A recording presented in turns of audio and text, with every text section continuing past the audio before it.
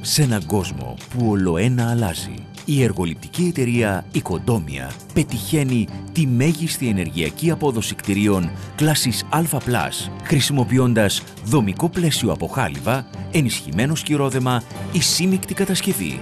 Σε έναν κόσμο που ολοένα αλλάζει, η Οικοντόμια επέλεξε τη σιγουριά της τεχνολογικής υπεροχής. Οικοντόμια, εργολάβη προηγμένων κατασκευών.